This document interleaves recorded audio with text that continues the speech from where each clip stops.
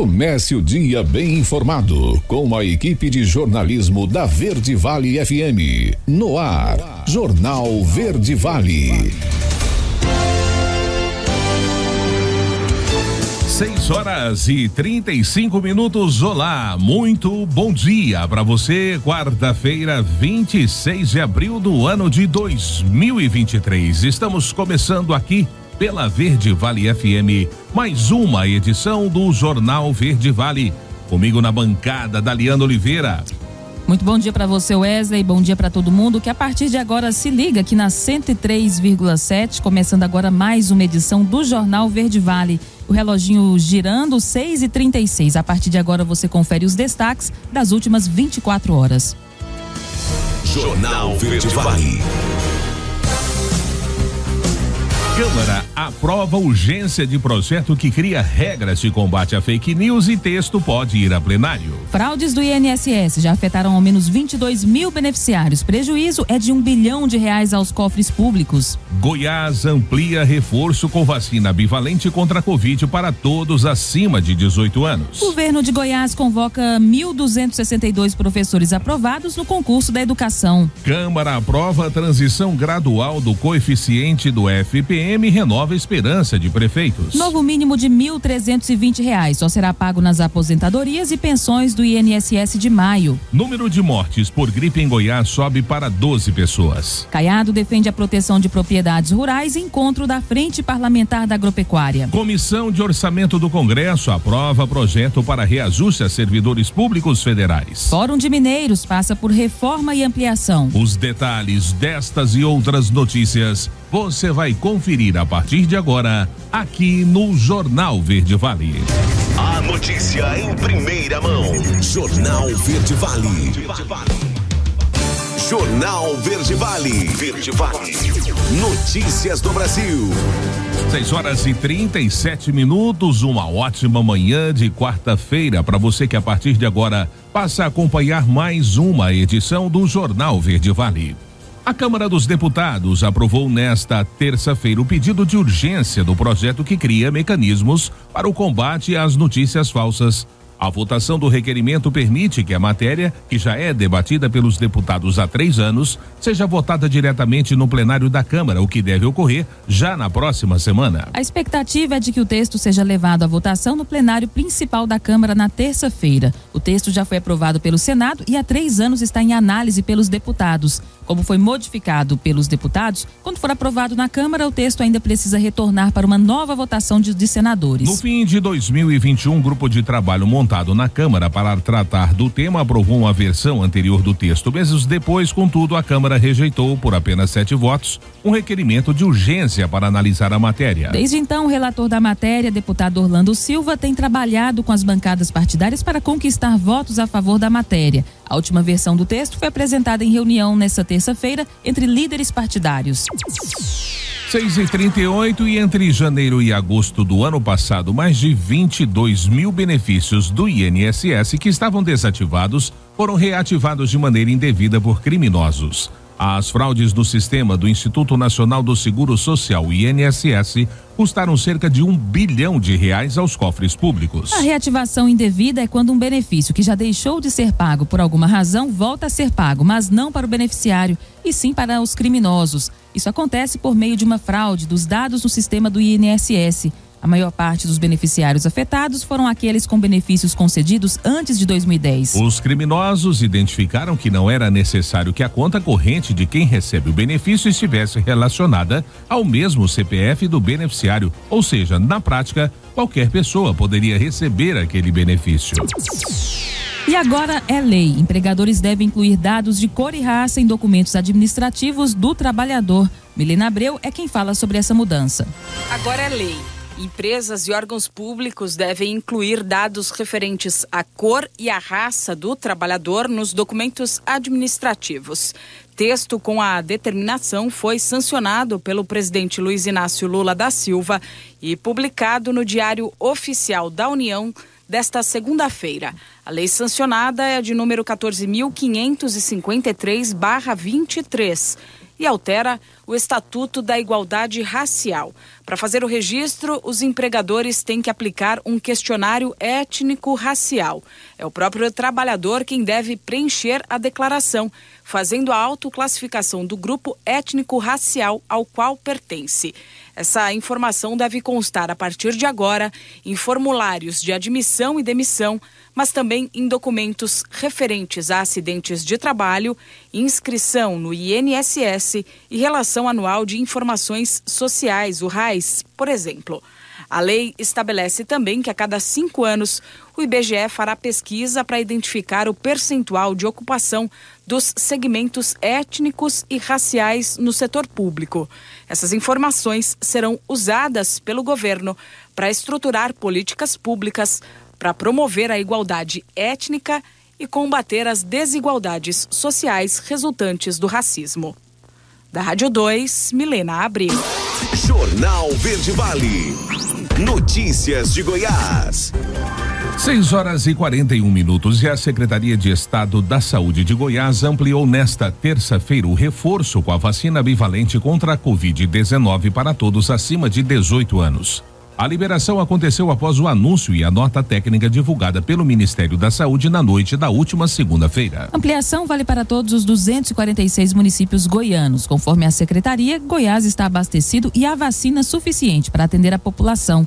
Conforme a superintendente de Vigilância em Saúde de Goiás, Flúvia Amorim, a vacina bivalente protege contra a variante Ômicron, responsável pela maioria dos casos, além de proteger também contra a cepa original e as outras subvariantes. Quem pode tomar a vacina bivalente é necessário que a pessoa tenha mais de 18 anos, tenha tomado pelo menos duas doses da vacina monovalente, monovalente, que é a do esquema primário, e tenha um intervalo de quatro meses ou mais da última dose. Goiás também está realizando a campanha de vacinação contra a gripe no momento para grupos prioritários. Conforme a secretaria, a população que está apta para tomar a vacina contra a gripe pode se vacinar contra a Covid-19 e contra a gripe no mesmo dia.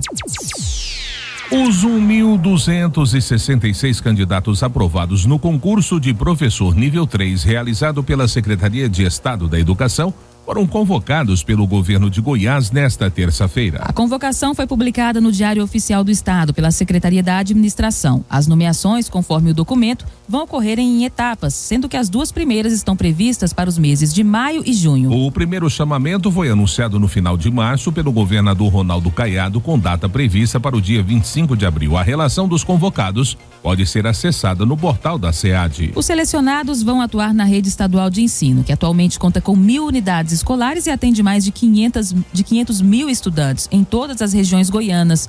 Os aprovados devem estar atentos ao cronograma para apresentação da documentação. A carga horária de trabalho estabelecida pela SEDUC pode ser de 20 a 40 horas semanais. A remuneração é de R$ 1.971,69 para 20 horas e R$ 3.943,37 para 40 horas, com o acréscimo do auxílio alimentação no valor de 500 reais e auxílio aprimoramento também de 500 reais nos termos das legislações vigentes. E a saúde orienta os pais a evitarem doenças respiratórias em crianças. Confira os detalhes com Denise Parreira. O Hospital Estadual da Criança e do Adolescente alerta pais e responsáveis para evitarem a contaminação de crianças por agentes causadores de doenças respiratórias. As internações por síndromes respiratórias na unidade de terapia intensiva do hospital correspondem a mais de 66% do total.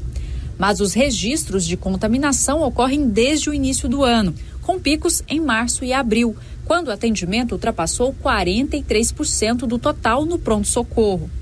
Por isso, os pais devem manter o cartão de vacinas das crianças sempre atualizado, criar o hábito de higienizar corretamente as mãos e fazer também a higienização das mãos das crianças, além de preferir ambientes bem ventilados e evitar aglomerações. Outro ponto muito importante, segundo dicas da direção do Hospital Estadual da Criança e do Adolescente, é não enviar a criança para a creche, berçário ou escola se ela estiver doente, porque poderá contaminar outras crianças e ampliar ainda mais a disseminação de doenças respiratórias. Os sintomas mais comuns de doenças respiratórias são coriza, congestão nasal, tosse e febre. Outros pontos de atenção são falta de apetite, cansaço e dificuldade para respirar. Nesses casos, é importante que a criança seja avaliada por um profissional, numa UBS ou CAIS mais próximo, ou mesmo em uma unidade de pronto atendimento. Nos casos de média e alta complexidade, a UBS ou UPA fará o encaminhamento da criança para unidades como o ECAD. De Goiânia, Denise Parreira, da agência Cora de Notícias. Jornal Verde Vale. Esportes. 6 e 45 e vamos então à Copa do Brasil. Fluminense não deu chances ao Paysandu, fez 3 a 0 no Mangueirão e garantiu uma vaga nas oitavas de final da competição. O placar foi o mesmo aplicado no Rio no jogo de ida. Sem grandes sustos, a equipe carioca foi superior na primeira etapa e fez um segundo tempo em ritmo de treino. Os gols foram marcados por Cano, Keno e John Kennedy. No próximo dia 27 de abril, a CBF vai realizar o sorteio que vai definir os confrontos das oitavas de final da Copa do Brasil. No sábado, o Fluminense volta a campo para enfrentar o Fortaleza pelo Campeonato Brasileiro. O time do técnico Diniz é o líder da competição. E o Cruzeiro é o primeiro a garantir vaga nas oitavas de final da Copa do Brasil. Com gols no segundo tempo de William aos 9 minutos e Richard aos 44, a equipe venceu o Náutico por 2 a 0 no Independência e garantiu a vaga. No primeiro jogo, Timbu havia vencido por 1 a 0 nos aflitos. A definição do próximo adversário, como dissemos, será em sorteio agora no dia 27 de maio. Com a classificação sobre o Náutico, o Cruzeiro acumula 5 milhões e 400 mil reais em premiações na Copa do Brasil. A equipe também consegue alcançar o primeiro objetivo da temporada, que era chegar às oitavas de final da competição. Classificado, o Cruzeiro volta a pensar agora no Campeonato Brasileiro. No sábado, às 18h30, horário de Brasília, no estádio Nabia Bichedi, visita o Bragantino pela terceira rodada. O Náutico, por sua vez, terá uma semana de preparação para a estreia na Série C do Brasileiro. Na próxima terça-feira, visita o Manaus, em jogo marcado para 16 horas. Jornal Verde Vale. Agronegócios. 6 e 47 e apesar das seguidas quedas dos preços da soja no Brasil, o mercado registra vendas. Ainda assim, os negócios ocorrem apenas quando os produtores precisam fazer caixa e abrir espaço em seus armazéns. As margens seguem apertadas, negativas para alguns agricultores, o que limita a movimentação. Em Chicago, houve uma queda expressiva nessa terça-feira. Por outro lado, a alta do dólar aliviou a pressão negativa sobre os preços. Os contratos futuros da soja negociados na Bolsa de Mercadorias de Chicago fecharam a terça-feira com preços mais baixos, o clima de maior aversão ao risco no mercado financeiro global e o bom avanço do plantio nos Estados Unidos acabaram pressionando as cotações. As preocupações com a economia mundial foram renovadas com os resultados trimestrais e de importantes empresas, principalmente no setor bancário. Petróleo caiu forte e o dólar sobe frente a outras moedas, condições que pressionam as commodities agrícolas. Apesar dos boletins apontarem temperaturas baixas e chuvas nos próximos dias nos Estados Unidos,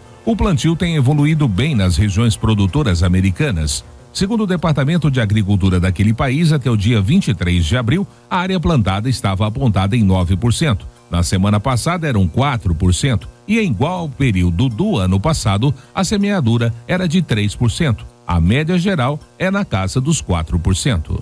A notícia em primeira mão. Jornal Verde Vale. Agora, na Verde Vale, os comentários de Alexandre Garcia. Bom dia.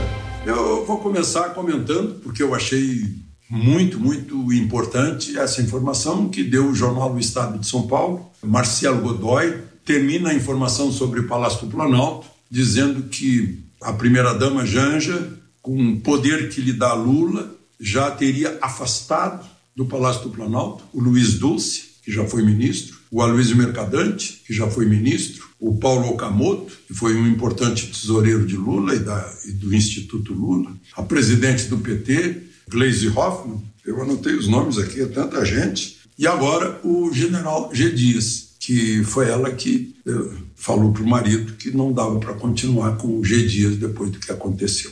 Sobre o G Dias, eu queria contar para vocês, como testemunho de eh, quem cobriu o Palácio do Planalto por muitos anos, igual a meus companheiros que me chamaram a atenção, os veteranos de cobertura do Palácio do Planalto, achando estranho que o, o general-chefe do Gabinete de Segurança Institucional estivesse em Brasília, no Palácio do Planalto, e o presidente da República em Araraquara, porque são inseparáveis ao longo da história da presidência da República. O chefe do gabinete militar, que depois passou a se chamar uh, Gabinete de Segurança Institucional, e o presidente da República, porque esse chefe de segurança é o chefe da segurança do presidente. Ele está sempre ao lado do presidente para tomar essas decisões relativas à segurança presidencial. Então, fica aqui mais uma coisa estranha em relação às imagens do Palácio do Planalto. Lula longe do general, ou não? São perguntas que precisam ser esclarecidas numa CPI, não resta dúvida. E vai sair uma CPI na Câmara Federal esta semana, segundo garante o presidente da Câmara, é sobre o MST, que recrudesceu as invasões. Depois que começou o governo Lula, já são 40 invasões. E principalmente em estados onde o governo é parceiro do MST. Naqueles em que o governador já prometeu que não, uh, não vai aceitar de modo algum uma invasão, vai reagir através da Secretaria de Segurança, aí não tem acontecido. É bom lembrar que invasão de propriedade alheia, seja do Estado ou seja privada,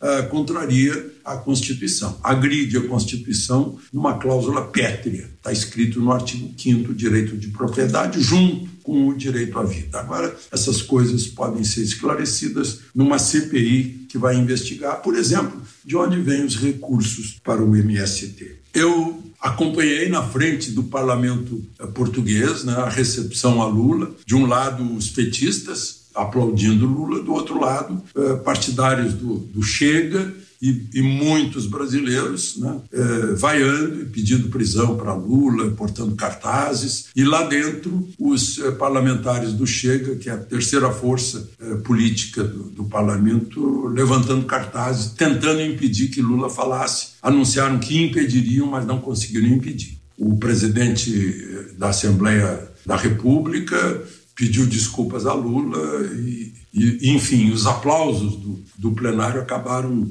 eh, silenciando eh, esses parlamentares. Um, o líder deles, eh, o deputado André Ventura, depois foi lá fora e ironizou palavras de Lula, porque Lula, ao sair, disse que aqueles que, que o criticaram, que, que tentaram impedi-lo de falar, não iam dormir bem à noite. E ele respondeu que aqueles que têm consciência tranquila vão dormir bem, assim como dormem bem também aqueles que não têm consciência.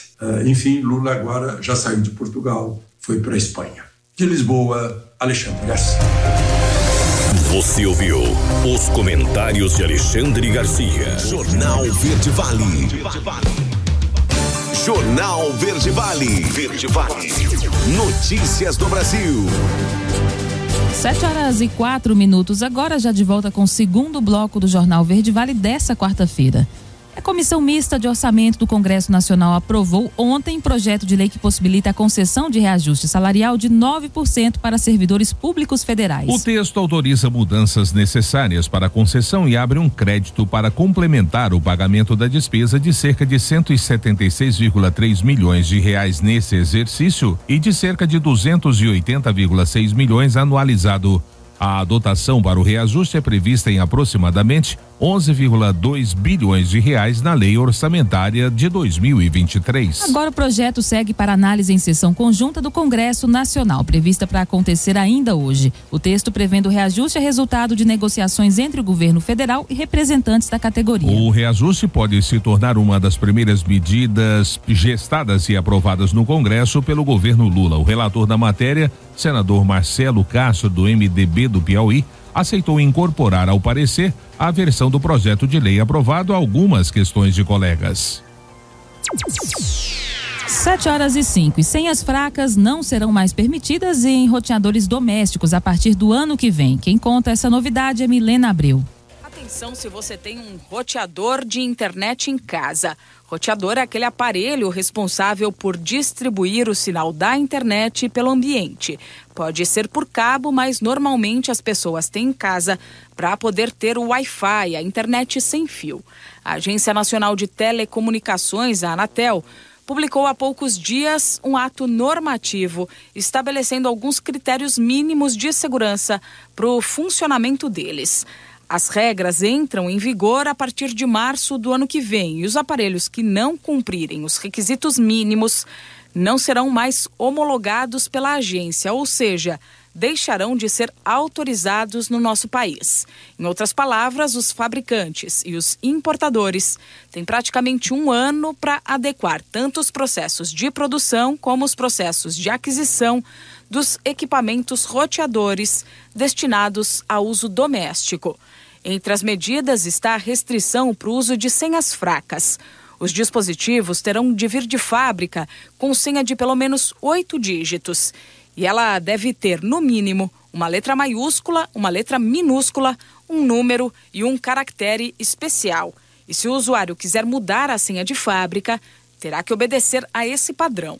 Os roteadores também terão de ter políticas claras de suporte ao produto e os fabricantes terão de disponibilizar atualizações gratuitas de segurança para os softwares dos roteadores e canais para notificações de vulnerabilidades descobertas por usuários e especialistas da área, entre outros requisitos.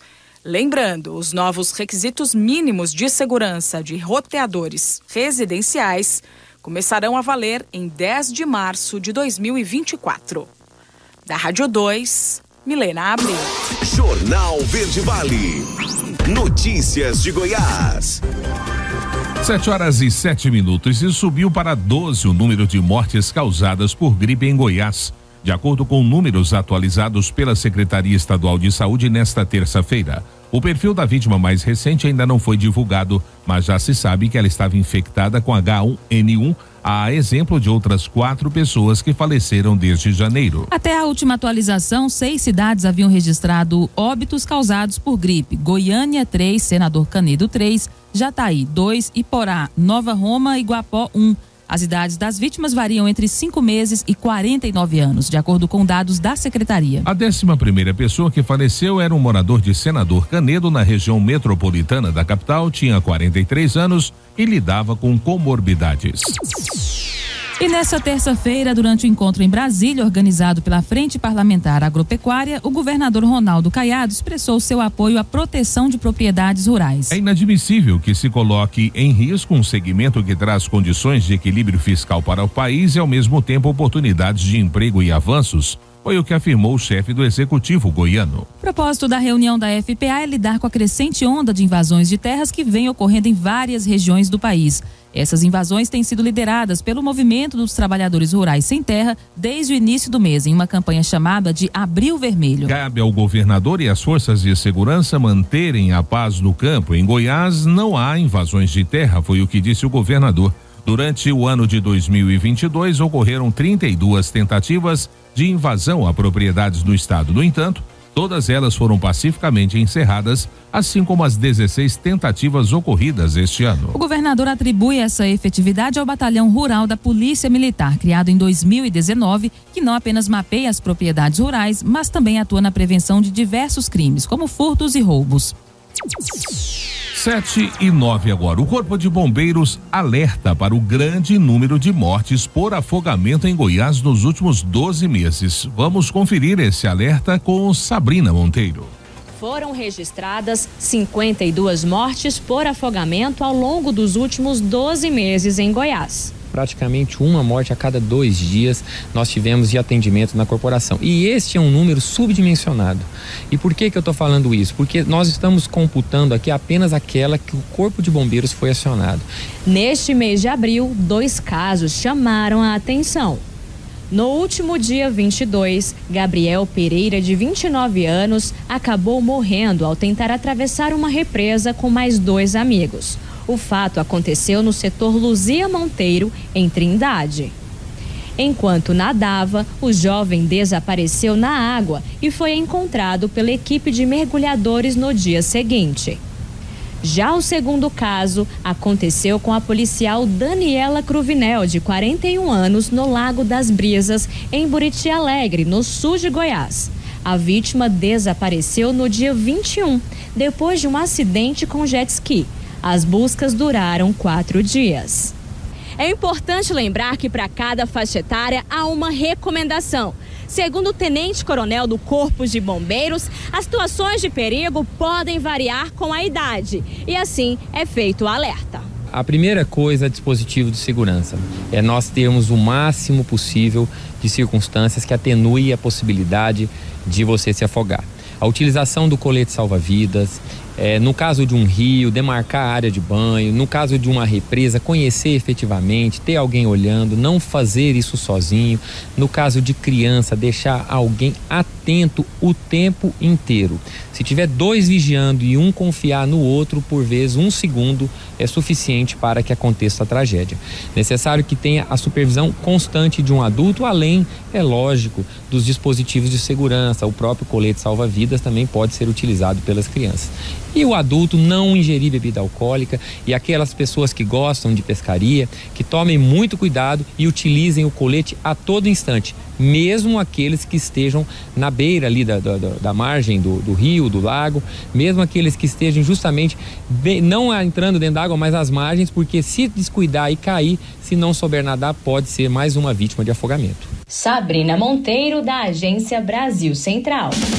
Jornal Verde Vale. Esportes. 7 horas e 12 minutos agora. E o Brasil encerrou com empate a preparação para o Mundial Sub-20 dessa terça-feira na Espanha. No último amistoso, antes da competição que tem início do dia 20 do mês que vem, na Argentina, o time de Ramon Menezes ficou no 1 a 1 com o Iraque em partida realizada em Jerez La Fronteira. Kevin do Palmeiras fez o gol brasileiro após Abdo Kessim abrir o placar. Foi a terceira partida do último ciclo de convocação para a Copa do Mundo. Com problemas de liberação de jogadores por seus clubes, Ramon Menezes fez uma lista com muitas caras novas e volta para o Brasil com um leque de opções maior para a relação final, que será divulgada na próxima sexta-feira. O treinador já sabe que não poderá contar com o Vitor Roque, vetado pelo Atlético Paranaense. E ainda no esporte, sem trabalhar desde que deixou o comando da seleção brasileira no fim do ano passado, após a disputa da Copa do Mundo do Catar, o técnico Tite pode trabalhar na Europa no segundo semestre. Durante participação da primeira edição da Feira Sport Summit no Brasil nesta terça-feira, o empresário Gilmar Veloz, que agencia o treinador, disse que equipes internacionais demonstraram interesse em contato com o profissional mas negou que tenha conversas em aberto. No entanto, o agente indicou que no próximo mês essas situações podem avançar, ainda que tenha buscado manter o sigilo quanto ao futuro de Tite. O representante do técnico que dois disse que dois a três clubes da Europa teriam procurado o treinador, além de várias seleções. Jornal Verde Vale. Agronegócios. 7 horas e 14 minutos. E o mercado físico do boi gordo segue com registro de queda de preços em São Paulo. Os frigoríficos apontam posição confortável em relação nas suas escalas de abate e buscam preços mais baixos para o boi gordo. A boa oferta de animais no mercado, que deve seguir avançando até o auge da safra. A evolução climática do centro-norte do país é fator a ser acompanhado ao longo das próximas semanas. A redução de chuvas é ruim para as pastagens e para a retenção do boi gordo por parte dos pecuaristas, foi o que disse o analista de safras e mercado Alan Maia. Em São Paulo houve registro de queda no decorrer do dia. Animais padrão China foram negociados entre 265 e 270 reais arroba a prazo.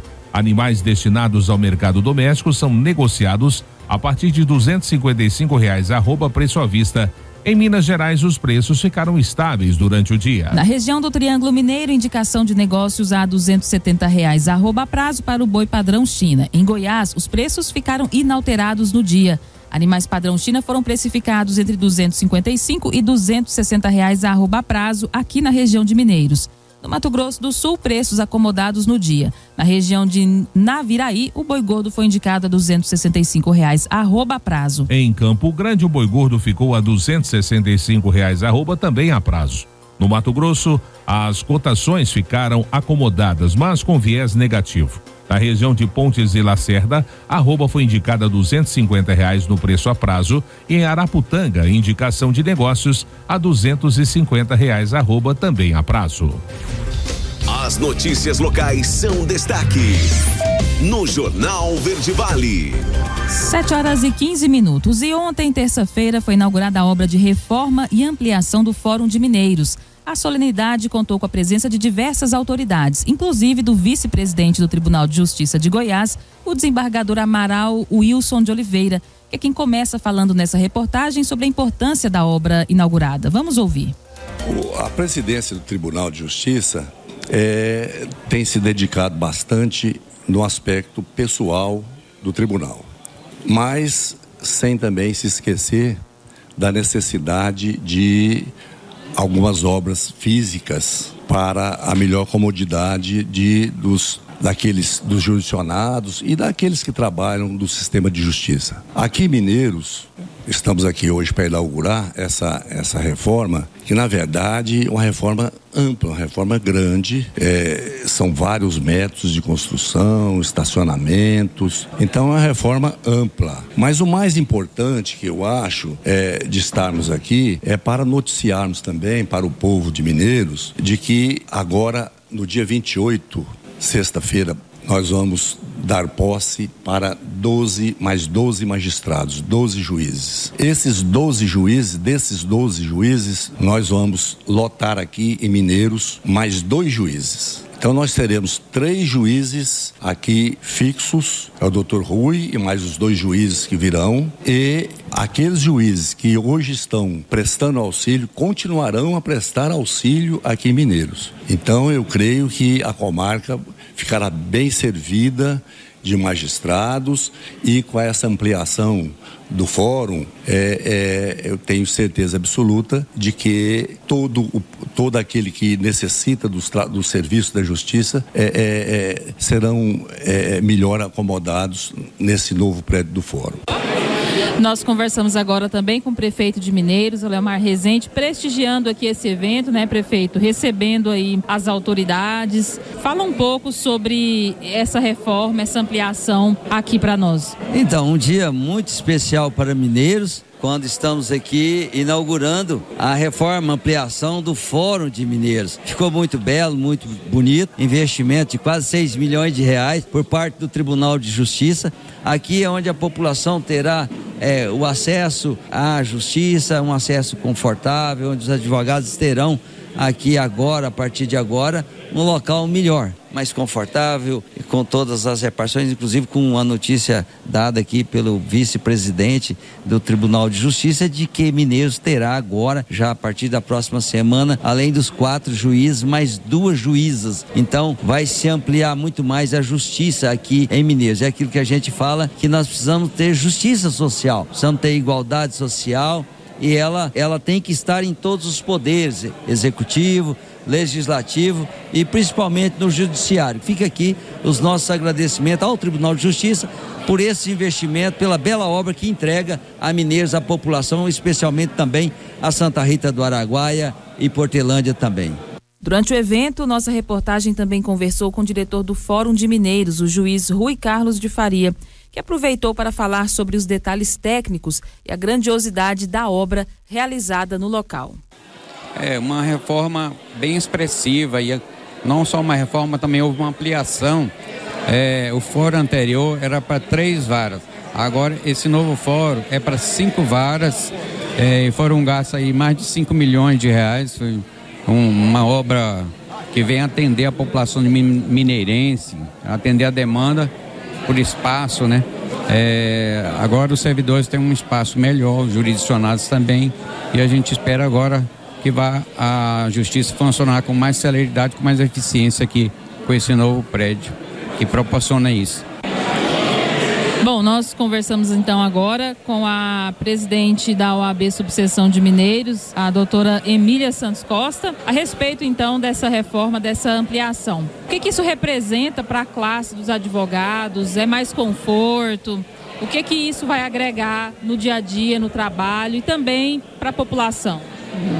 Essa ampliação e essa reforma é extremamente importante, não só para o advogado, mas também para o jurisdicionado, que é todo cidadão mineirense, santarritense e portelandense que usufrui, né, que fazem parte dessa comarca de Mineiros. Então a gente nós teremos, né, um ambiente muito mais confortável, muito mais acolhedor e que vai de fato estar atendendo a demanda dessa sociedade, que a cada vez cresce mais, cresce mais, e à medida que cresce uma população, que cresce uma cidade, cresce ainda mais a necessidade de procura ao judiciário para satisfazer né, os interesses e, e resolver as adversidades. E muito mais importante também foi que com essa inauguração veio a notícia da lotação de mais dois juízes aqui. É algo extremamente importante, porque para funcionar, para a gente ter uma prestação é, jurisdicional célere e eficiente, a gente necessita não só de um espaço adequado, mas de que haja recurso humano disponível para aquilo. Então a gente precisa de magistrados e a gente precisa de servidores. Então foi uma boa notícia, hoje foi um dia de vitória para a advocacia, porque nós temos a, a inauguração de um espaço estrutural adequado e temos agora a notícia de que mais dois magistrados virão servir a nossa comarca. Então hoje é um dia só de aplausos, um dia de vitória. 7 horas e 22 minutos, último intervalo do Jornal Verde Vale desta quarta-feira. Câmara aprova a transição gradual do coeficiente do FPM e renova a esperança de prefeitos. Novo mínimo de R$ 1.320 só será pago nas aposentadorias e pensões do INSS de maio. E, claro, espaço para as nossas notícias locais com J. Pereira. Não saia daí. Voltamos já trazendo todos os detalhes. Jornal Verde Vale. Jornal Verde Vale. Verde Vale. Notícias do Brasil. 7 horas e 26 minutos, já estamos de volta com o Jornal Verde Vale desta quarta-feira, aqui pela Verde Vale FM, uma emissora do Sistema Verde Vale de Comunicação.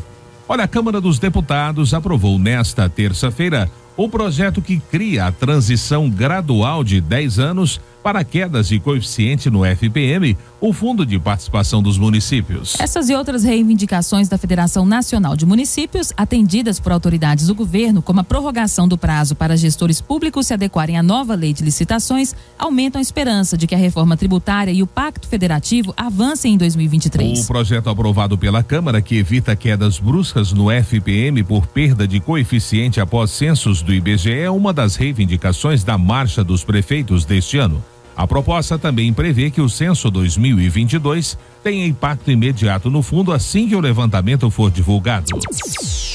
7 e 27 hoje é dia de receber o pagamento do programa Bolsa Família. Nessa quarta-feira, beneficiários com o NIS Final 8 podem sacar o dinheiro para colocar as contas em dia. O benefício, que tem como público-alvo famílias de baixa renda, está pagando o valor mínimo de seiscentos reais por família e um adicional de cento e reais por criança de até seis anos de idade cadastrada na família beneficiária. Pagamento do Bolsa Família é mensal, conforme calendário de pagamento. Para consultar se você está eh, no dia do seu pagamento, é só acessar o aplicativo Bolsa Família ou Caixa Tem no celular. Para fazer o saque é só usar o cartão de débito da conta ou cartão social nas unidades lotéricas correspondentes Caixa Aqui, terminais de autoatendimento e realizar os saques em agências da Caixa. Responsável familiar que recebe na conta poupança social digital também pode movimentar o seu benefício de forma digital pelo Caixa Tem. Os cartões e senhas usados para o programa Auxílio Brasil continuam válidos e podem ser usados para receber o Bolsa Família. 728 e o novo mínimo de 1.320 reais só será pago nas aposentadorias e pensões do INSS no mês de maio. Os detalhes você confere com Sig Eichmeier. Benefícios do INSS que começaram a ser pagos esta semana ainda estão sem o aumento do novo salário mínimo. De acordo com o anúncio do presidente Luiz Inácio Lula da Silva, o piso nacional de R$ 1.320 entrará em vigor em 1 de maio. Apesar do calendário do pagamento das pensões e aposentadorias prosseguir até 8 de maio, ele se refere ao mês de abril. Dessa forma, ele é calculado com base no mínimo de R$ 1.302, que começou a valer em 1 de janeiro e vigora até o fim deste mês. O novo valor será aplicado a partir do INSS de maio, que será pago entre o dia 25 do próximo mês e 7 de junho. Aprovado pelo Congresso no final do ano passado, o reajuste do mínimo considera a inflação e o crescimento do produto interno bruto, PIB, dos cinco anos anteriores. Da Rádio 2, siga Ike Mauer. Jornal Verde Vale. Notícias de Goiás. 7 horas e 29 minutos agora. O Instituto Federal de Educação, Ciência e Tecnologia Goiano, IF Goiano, prepara um novo concurso público para técnico-administrativos. A banca organizadora da seleção já foi definida. A Universidade Federal de Goiás, a UFG, foi a escolhida para receber as inscrições do concurso em seu site, além de viabilizar e aplicar as etapas da seleção, como as provas objetivas. A dispensa da licitação para a contratação da banca foi publicada no Diário Oficial da União da terça-feira. Próximo passo será a efetiva assinatura do contrato entre o IF Goiano e a UFG para a prestação de serviços. Em seguida, o cronograma poderá ser finalizado e o edital divulgados. Ainda não há um prazo para a abertura do concurso. Inscrições e provas, os cargos e áreas também não foram informados. A estimativa é de que cargos de nível médio e superior sejam contemplados. Os vencimentos serão de R$ 2.446,96 e R$ 4.180,66. Com reajuste anunciado pelo governo federal de 9%, os valores serão maiores a partir desse ano. O auxílio alimentação também aumentou para 658 reais. E o Corpo de Bombeiros foi acionado na manhã de ontem para atender uma ocorrência de incêndio em um frigorífico desativado em Quirinópolis. No local foi constatado que também havia vazamento de amônia, sendo necessário o isolamento de um raio de 100 metros na direção do vento. Os bombeiros não conseguiram acessar o prédio devido ao vento. Diante da situação, a equipe isolou a área em um raio de 30 metros e 100 metros na direção do vento. Porém, o fogo foi dissipado cerca de meia hora após a chegada da guarnição. Segundo os oficiais, não foi necessário o combate, pois o incêndio se extinguiu por falta de material combustível, já que o produto estava apenas na tubulação e os registros do cilindro estavam fechados. De acordo com informações divulgadas, o incêndio teria começado após duas pessoas cortarem as tubulações com um maçarico. Apesar do susto, não houve nenhuma vítima. E o Hospital Estadual Alberto Rassi, o HGG, é autorizado pelo Ministério da Saúde a fazer mais três tipos de transplantes de órgão, além dos que ele já realizava. Quem traz essa novidade é Rafael Mesquita. O HGG é a única unidade de saúde estadual que realiza transplantes de órgãos. Desde 2017, já foram mais de 800 procedimentos realizados de rim e fígado. Os três novos transplantes autorizados pelo Ministério da Saúde são medula óssea, pâncreas e rim-pâncreas. O médico hematologista do HGG, Leandro Bariani, afirma que os procedimentos serão totalmente financiados pelo SUS. A gente tem outras unidades, como o Hospital Jorge, que faz também transplante de medula óssea, mas aqui no HGG a gente vai trabalhar com público 100% SUS. E essa é uma exclusividade no estado. No total, são 32 leitos destinados a pacientes que irão passar por transplantes de órgãos aqui no HGG. Para o procedimento de medula óssea, são seis leitos destinados, como esse aqui, que foi todo equipado para evitar infecções de pacientes imunossuprimidos. Os leitos têm monitorização contínua para acompanhar o estado do paciente, anticâmera com barreira para evitar a troca de ar externo e interno e filtros específicos na torneira e no chuveiro para não haver contaminação na água.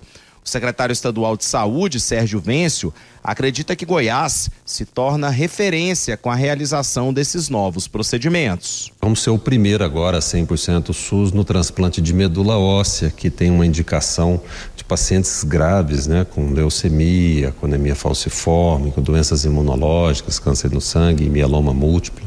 Então a gente vai poder atender essas pessoas de uma forma é, muito interessante, porque temos lá uma estrutura física que é muito difícil de você achar em hospitais privados no Brasil afora, não tem nenhum hospital com aquela estrutura para transplante em Goiânia.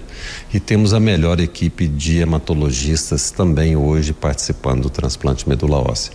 Segundo a Secretaria Estadual de Saúde, a expectativa é que os novos transplantes já sejam iniciados no HGG até o final do mês de maio. Rafael Mesquita, da Agência Brasil Central. Jornal Verde Vale. Esportes. 7 horas e 34 agora. E com gol de Wellington Rato, que tinha acabado de entrar no segundo tempo, o São Paulo venceu o Ituano em Itu por 1 a 0 na terça-feira e avançou para as oitavas de final da Copa do Brasil. O time tricolor dominou a partida, sofreu pouco, mas teve dificuldades das finalizações, apesar de ter criado boas oportunidades. É a segunda vitória seguida do São Paulo sob o comando de Dorival Júnior. Classificado para as oitavas de final, São Paulo agora irá conhecer o seu adversário em sorteio que será realizado pela CBF. O São Paulo agora se prepara para enfrentar o Curitiba no sábado, no Paraná, pela terceira rodada do Brasileirão. O Ituano joga um dia antes pela Série B, quando vai a Campinas para jogar contra o Guarani. Jornal Verde Vale. Agronegócios. 7h34. E após cinco dias de intensa desvalorização, os preços futuros do milho encerraram a terça-feira, contabilizando movimentações positivas na Bolsa Brasileira. As principais cotações flutuaram na faixa entre R$ 65,35 e R$ 69,76. O vencimento maio 23 foi cotado a R$ 67,25, com valorização de 4,67%. Julho 23 valeu R$ 65,35 com uma alta de 1,87%. Setembro 23 foi negociado por R$ 67,19, um ganho de 2,89%. E novembro 23 teve o valor de R$ 69,76, uma elevação de 3,20%. Para o analista de mercado Vlamir Brandalize, o milho no Brasil estava caindo muito porque os grandes compradores estavam parados na demanda porque havia a chegada da colheita da safra de verão e ainda havia a dúvida sobre a produção da safrinha. As notícias locais são destaque no Jornal Verde Vale. Agora 7 horas 36, estamos chegando então com as informações das notícias locais aqui de nossa cidade nessas últimas 24 horas. Aquilo que foi registrado tanto pela Polícia Militar, pela Polícia Civil e também Corpo de Bombeiros. É claro, os principais destaques registrados por cada corporação. Agora 7 horas é mais 36 minutos, 7h36. A gente começa com as informações do Corpo de Bombeiros foram 14 atendimentos nas últimas 24 horas e não houve nenhuma ocorrência de maior repercussão de acordo com a classificação. Tivemos uma intoxicação por medicamentos, uma retirada de anel, emergências clínicas também foram registradas. Mas nenhuma ocorrência de maior gravidade, graças a Deus. No Jornal Verde Vale, ocorrências policiais.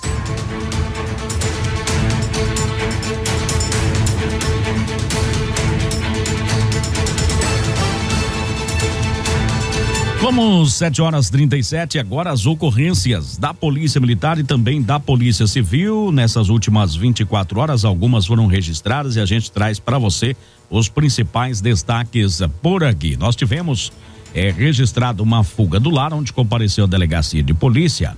A mãe, né, relatando é, que foram informados né, que uma pessoa saiu de casa e para ir a Santa Rita ver os filhos e depois ir para a fazenda onde mora, né? Quando perceberam aí que o, o rapaz não dava mais notícias.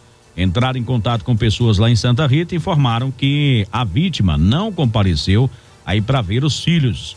Então entrou em contato aí com o pai, que mora próximo à fazenda, é, e o mesmo disse também que não viram por lá. Até então, a última vez que foi visto foi em Portelândia por uma pessoa que informou aí seu pai. Depois disso, não teve mais notícias.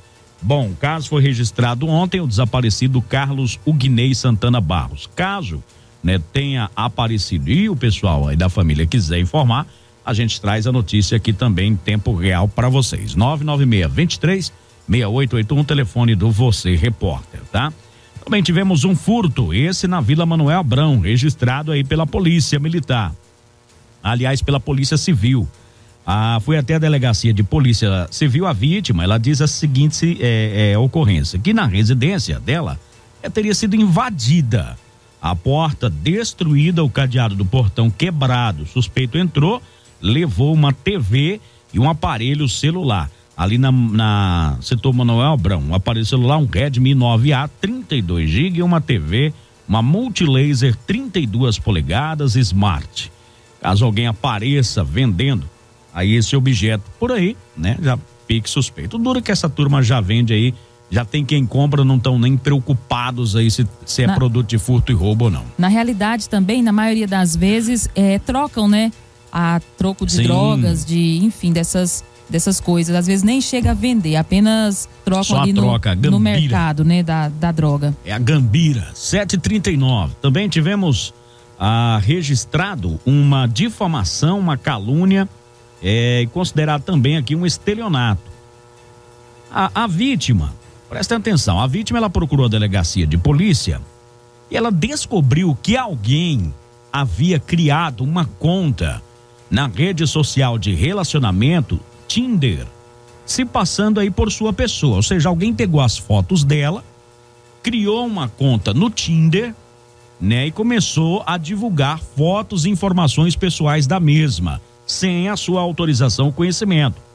É, se identificando aí nesses perfis como Mila e Mili. Ah, ou o suspeito, então, ainda ele, eh, ele utiliza imagens particulares publicadas apenas aí no Instagram verdadeiro aí da vítima. Ela vai lá, publica algo do dia, essa pessoa copia E joga e joga lá no Tinder. É, e o, o que piora um pouco a situação é que lá ele se identifica como acompanhante, que ela trabalha aí com esse serviço de acompanhante, o que tem levado prejuízos aí para esta é, mulher. E ela então procurou a delegacia de polícia para denunciar, porque ela já fez diversas denúncias é, no próprio aplicativo, né, de que se trata aí de uma fraude, até agora nada foi feito. Então ela ela registrou esse boletim de ocorrência na delegacia para tentar resolver é, esse imbróglio aí que começou na vida dela. Ela trabalha com vendas, mas é de outros produtos, enfim, mas não aí é como é, acompanhante. Também tivemos uma ameaça. Essa ameaça foi o seguinte: compareceu à delegacia de polícia, a vítima, ela relata que trabalha em uma determinada área, né? E segundo essa mulher, quando a outra funcionária deixa tudo em ordem, arrumado, né? Foi falar aí com a mulher é, que os banheiros lá do local estavam ok, né? Que teria que ajudar na limpeza lá fora. E ela não satisfeita, né? Diz que não estava nem aí, diz que não ia fazer as obrigações, enfim, e começou a xingar. Ou seja, houve um desentendimento entre duas colegas é, de trabalho ali. E acabou parando aonde? Na delegacia. Mandado de prisão também registrado pela Delegacia de Polícia Civil aqui de Mineiros. Ontem cumpriu mandado de prisão contra uma mulher. Ela foi detida ali no setor Taninho. É, suspeita aí, né? Está sendo presa, suspeita de ter cometido aí uma tentativa de homicídio registrada. Então, isso em fevereiro. A polícia então começa a cumprir esse mandado de prisão emitido pela justiça para tentar então é, elucidar o caso aí de uma vez só, tá? Também tivemos ainda um estelionato. Esse estelionato foi registrado da seguinte forma: a vítima, é no último dia 20 aí do mês passado, ela recebeu uma mensagem com a proposta de emprego. Seguintes dizeres: tudo o que fazemos todos os dias é reservar um momento para ajudar os comerciantes da Amazon aumentar suas vendas e classificações. O comerciante lhe dará uma bela comissão. Você pode negociar a qualquer hora do dia. Tudo que você precisa é de um telefone celular. Aprenda a negociar. Você pode ganhar entre 100 e 500 reais por dia. Gostaria de experimentar? Então, no dia 21, né? A menina clicou no link para entrar no site, né, lá e registrar uma conta. Após o cadastro, né, disse que ali daria um bônus de 10 reais após o cadastro bem sucedido. Insira aí uma captura de tela na página inicial e deixe atribuir o trabalho, 10 minutos para começar. Mas, né, foi se alongando e nunca termina. Agora que terminou, estão cobrando imposto para sacar o dinheiro. Ou seja, minha querida, você não vai conseguir sacar esse dinheiro nunca. Nunca mesmo. Né? É uma enganação. Não existe esse, tipo de trabalho oferecido aí pela Amazon, tá? Ali, é, a Amazon seria uma espécie de distribuidora, né? Várias pessoas anunciam no site E ali ela só faz o remanejo das situações. Várias empresas ofertam seus produtos por lá, tá? Ah, que, que tivemos aqui também? Uma injúria. O pessoal tá difamando muitas outras aí, né? A vítima que teve um relacionamento aí com um rapaz durou cerca de dois anos e alguns meses. Está separada aí do, do, do cidadão há cerca de quatro meses. É e que agora constantemente está mandando áudios em seu celular ofendendo-a, xingando aí de tudo quanto é nome, menos de santa. Também difamando aí para terceiros, além de estar perseguindo, indo até a porta da sua casa. Ele não aceita o fim do relacionamento e insiste em reatar. Né? Já ouviu áudios aí do ofendendo, né? já mostrou esses áudios aí que ele ofende ela para tudo quanto é lugar, enfim. Ela registrou um boletim de ocorrência porque tá, né, pedindo aí uma medida protetiva contra ele. Estelionato compareceu à delegacia a vítima, aí informando que no dia 25 de abril, mais conhecido como ontem, é, verificou seu extrato bancário, percebeu que seu cartão de crédito havia sido clonado e realizada aí uma compra é, na cidade de Pinheiro, São Paulo, no valor de e reais. Rapaz. E o cara tava em Mineiros, Goiás. Mas lá em Pinheiro, São Paulo, o cartãozinho dele tava, ó, e tá tendo muito esse tipo de golpe aqui agora de. É, não Só sei, essa semana não, já os dois, não né? Não sei o que, que aconteceu, se roubaram os dados desse cartão ou se realmente clonaram ele, mas está acontecendo muito esse tipo de ocorrência né, aqui no, no nosso programa, aonde a pessoa está aqui em Mineiros, mas aí ela recebe ali no aplicativo do banco uma, uma notificação que o cartão foi passado em outra localidade totalmente diferente. Olha, um cidadão aqui, né? Ele foi mais esperto, ele diz assim, ó. O meu pai entrou em contato comigo perguntando se eu havia trocado de número, pois estava pedindo dinheiro é, no nome dele em outro número do telefone. E aí ele pediu os prints, informou aí ao familiar, né, que não estava é, pedindo dinheiro, estava utilizando a foto aí, né? Pelo que a gente percebeu aqui, o pai foi esperto e ligou Sim. antes, né, meu Esse filho? escuta o nosso programa. Você tá precisando de dinheiro? Pai, precisando eu tô, mas não pedi ainda não. E, Aí. E né? essa, esse golpe da, da- do, do estelionatário, que ele coloca a foto ali de um, de um ente querido seu, um amigo, um parente, e entra em contato com você para dizer que está precisando de dinheiro, está acontecendo muito da seguinte forma: eles entram, eles abordam você falando que está passando mal, que está com uma dor de cabeça, tudo isso para deixar o assunto assim mais é, mais natural, né? Para não ir direto ao ponto. Eles não chegam pedindo. É, não- não- vão conversando vão ali, né? conversando, eles não chegam pedindo dinheiro. Eles vão e iniciam uma conversa como se realmente fosse ali aquela pessoa é, falando com você, né? Ah, eu tô passando mal, tô com uma dor de cabeça, isso e aquilo. E vai mantendo ali uma conversa e aí num determinado ponto é onde pedem o dinheiro e a pessoa ali sem confirmar que realmente se trata daquela, acaba passando. Tivemos também um furto de veículo. Desta vez, uma motocicleta, uma Honda CG 150 Titan ES, de cor vermelha 2008-2008, placa NKZ 2693. Ela foi furtada ali às margens da GO 341. O cidadão parou ali em um local, né, por volta das 23 horas ao ir embora. Ele notou que teria que ir embora a pé porque o veículo já não estava mais no local. É, tivemos também um estelionato, onde compareceu a delegacia a vítima. Ela comunicou que no dia 17 de abril, por volta das 15 horas, ela recebeu uma ligação né, de uma pessoa se passando por sua filha, com a foto da mesma e pedindo dinheiro emprestado para fazer compras. A vítima realizou quatro transferências. É, vamos lá, uma. Deixa eu ver se tem os valores. De 300, uma de 800, né? E duas aí para uma outra pessoa é no valor de 2.970 e 1.630 reais. Nossa, prejuízo não cai. considerável aqui esse prejuízo. Com certeza. Também ainda tivemos registrado uma outra aqui que eu deixei para o final. Deixa eu até voltar aqui. Ah, essa não, não é essa ainda não. É uma outra calúnia também. É, foi registrada uma difamação nesse caso aqui.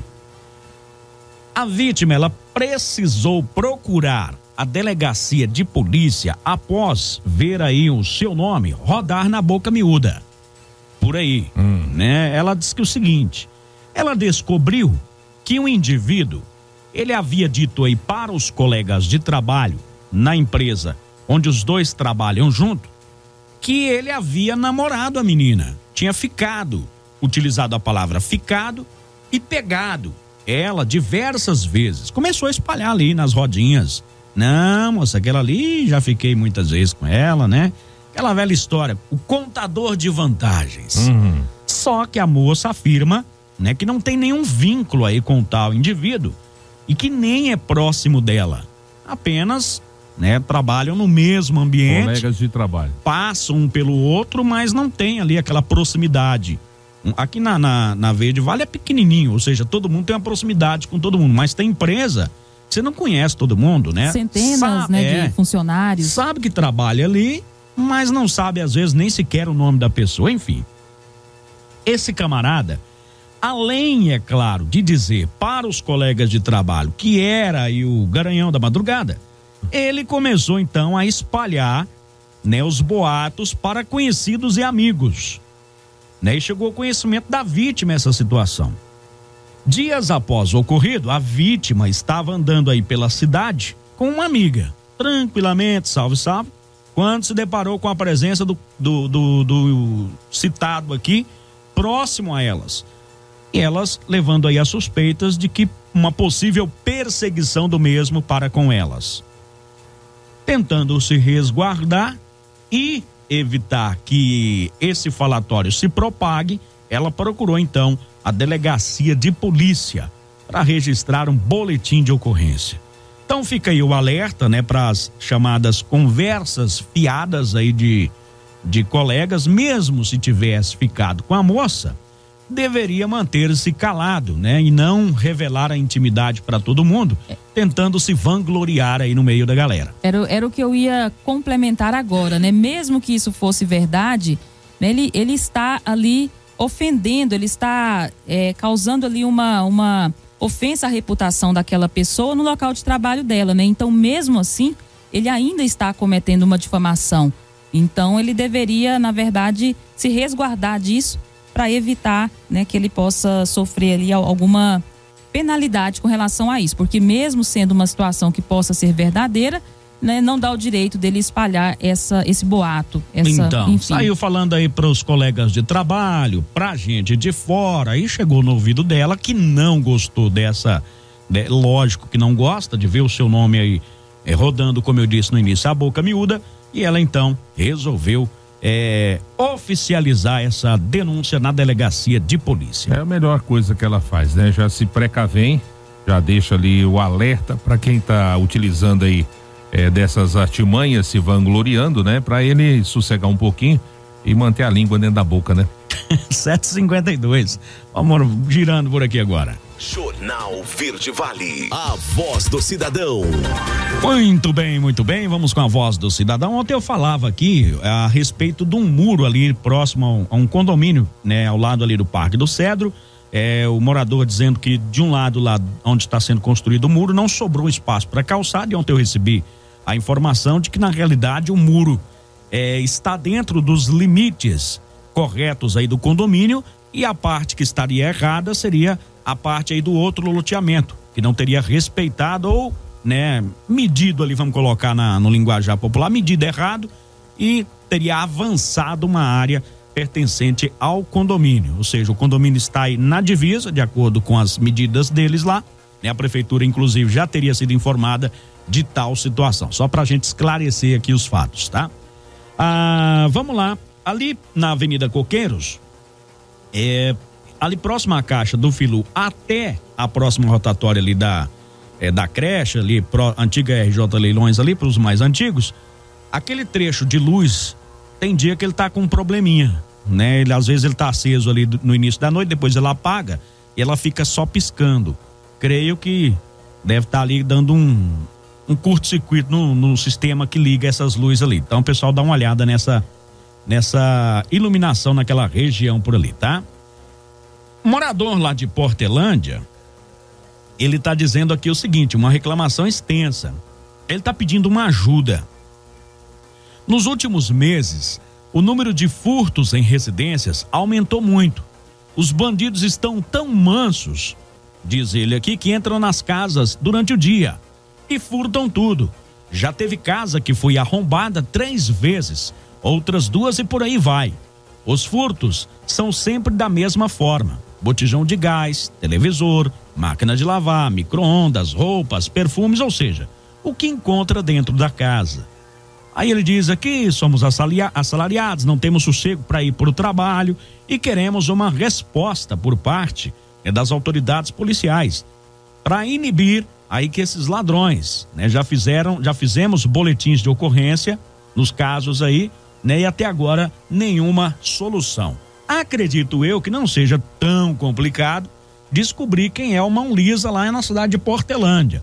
Então o pessoal está pedindo aí um trabalho mais ostensivo por parte da polícia, tanto da civil quanto da militar, né, no patrulhamento e na investigação, para descobrir quem é esse camarada ou é esses camaradas, né, que não estão dando sossego para nossa querida Portelândia. É uma situação que causa incômodo, né? Porque a pessoa sai para trabalhar e não sabe na hora que voltar se vai ter o sofá para sentar, a mesa para fazer a sua refeição, já que estão catando um tudo, né? É uma situação desagradável, né? Realmente tem que se fazer essa investigação e se verificar, é, como diria antigamente, né, Jota? Montar uma campana e ficar de olho ali para ver se esses meliantes é, não passa com a mesa na cabeça, com alguma coisa assim. Então, né? Eu acredito que eles estejam vendendo esse produto, não é lá não. É por aqui. Senão o camarada já tinha montado uma loja lá só de produtos, Ué, né? tá é, e vendendo lá seria muito mais fácil eles de descobrir, né? serem descobertos. Olha aí, vamos lá. Agora uma reclamação, essa daqui não dá. É, são diversos setores e a reclamação é a mesma. É sobre a falta da coleta de lixo. Nós temos aqui reclamação do Jardim Floresta, nós temos reclamação aqui do Jardim Florença. É, deixa eu ver mais aqui, né? Deixa eu ver, Jardim Florença, uma semana, Alvina, Parque São José, né? O pessoal tá aí cobrando nessa coleta de lixo. Então, mais nessas regiões aí, tá? Coleta de lixo, Jardim Floresta, Jardim Florença, ali no Alvina Paniago, Parque São José, né? Então tá tá registrado aqui no nosso programa. Essas pessoas estão aí então reclamando dessa falta de coleta de lixo já há alguns dias aí. Já tô mandando um recado aqui já pro rapaz que é responsável. E o... Pra ver se ele ainda me responde aqui dentro do programa pra gente, né, dar, um, dar uma satisfação. Ah, o prefeito já me mandou aqui, ó. Ah, dois já, veículos da empresa com defeito. Procede aí, é, dois da, veículos. Da outra vez foi isso que aconteceu, né? Dois veículos estragaram e aí compromete todo o resto aí, né? Tem, aí, tem um esquema. E aí o que preocupa mais é que na próxima segunda-feira tem feriado, né? E aí esse lixo vai acumulando por lá. Já foi um já foi consertado, então já começa a normalizar um pouco aí a partir de hoje, né? É, minha mãe dizia, quem tem dois tem um, quem tem um não, não tem, tem nenhum. Né? Então aí ficou nessa situação. Então Sempre a resposta tem, aí. Tem que ter ali alguns a mais para poder garantir que o serviço funcione corretamente até quando algum der defeito, né? É, o certo esse aí deu isso. defeito aqui, então já um já foi consertado, então o serviço começa a ser normalizado a partir de hoje aí. Bora subir no poste trocar lâmpada na quadra na rua Me, Rio Meia Ponte, quadra 30, é, no lote 23, setor Santa Maria. O pessoal tá pedindo essa troca de lâmpadas por lá também, tá? É, ah, sim, pessoal mandando aqui mais, mais, mais golpes aqui, né? Sou gerente do projeto Mercado Livre, recrutando equipe, né, para trabalhar. Então, tudo isso aí é lorota, tá? Tudo é lorota, viu, pessoal? É, minha mãe disse que tem um cachorro ali na ponta da rua 10, bravo, avançando nas pessoas, pedindo aí o proprietário para mantê-lo né, dentro de, da sua residência. É, pessoal tá pedindo o seguinte: é, ali na rua São Pedro, lá, aliás, no setor São Pedro, rua SP2, quadra 18, lote 34, alguém foi lá e jogou um sofá velho na frente da casa de uma outra pessoa lá que não tem nada a ver com essa situação. E ela tá pedindo ali então para retirada, né, dessa é, desse sofá, desse entulho por lá. Ela ficou indignada com essa situação. Ah, ah, sim. Ah, isso aqui nós já cobramos ali, tá aguardando a resposta. O pessoal pedindo aí uma guarda lá é, na PAI, tá? Ah, o semáforo tá ficando. Ah, sim, ali no semáforo do centro, ali na segunda avenida com a Avenida 3, na terceira avenida, aliás, tá dizendo que tá ficando um bom tempo aberto para os carros, mas para os pedestres ficam cinco segundos. Tem que passar correndo ali. O pessoal então tá pedindo, eu não, não conferi essa informação, mas de acordo com o cidadão aqui, tá pedindo um tempo maior ali para o pedestre, tá? Dá uma ajustada lá. Conferir aí o pessoal da SMT para realmente ver se tá nesse tempo adequado, né? Tudo depende é de um estudo ali, né, para saber se realmente tem esse fluxo de, de pessoas dessa quantidade para mantê-lo é mais tempo ligado aí. Ah, como eu disse aí, o pessoal está dizendo aqui da, da, da coleta de lixo. O prefeito acabou de responder que a partir de hoje começa a normalizar, já que o o caminhão aí já está sendo, já um já foi consertado, o outro já está na iminência de ficar pronto aí também. O trabalho do IBGE foi encerrado? O cidadão está perguntando aqui. Olha, segundo a, a, consta as últimas informações que sim, né? Fecharam-se todos os detalhes, mas só que esses números apurados, não só aqui em Mineiros, no estado, enfim, em todo o Brasil, estão sendo contestados aí pelos próprios prefeitos, né? Porque, Ficou muito abaixo, é, né? Na, na verdade, houve sérias dificuldades nesse censo, né? Ficou-se aí praticamente 13 anos sem fazer o censo, que é de 10 em 10 anos, mas em detrimento aí da por consequência da pandemia, né? Então nós tivemos aí o censo somente em 2022, ou seja, já dois anos após, 12 anos após. E aí há uma outra dificuldade, até na oportunidade a gente entrevistou aqui os responsáveis por essa coleta de números aqui na nossa região. E a grande dificuldade foi arrumar funcionários para também eh, fazerem essa coleta de dados. As pessoas estavam receosas de receberem as pessoas Uma... na sua casa por causa da pandemia, aquela coisa toda, né? Estranho, chegando em casa, esses golpes não param de suceder um ao outro, né? Enfim, foram uma série de coincidências negativas que dificultaram aí o pessoal do IBGE a coletar todos esses dados de uma maneira mais uniforme e precisa. Então esses prefeitos agora, eles estão reclamando, tivemos aí eh, recentemente em Brasília o um encontro de prefeitos aí, que como que sempre acontece anualmente, e esses prefeitos reclamavam justamente sobre isso. Ou seja, não se levar em consideração até que seja efetivamente fechado esses números é, para repasse do, S, do FPM, né? O Fundo de Participação dos Municípios, porque tá, houve uma queda em quase todas tipo as assim, cidades. o povo sumiu. É, e ninguém sabe, não morreu tanta gente assim. E aí, de repente, esses números caíram substancialmente.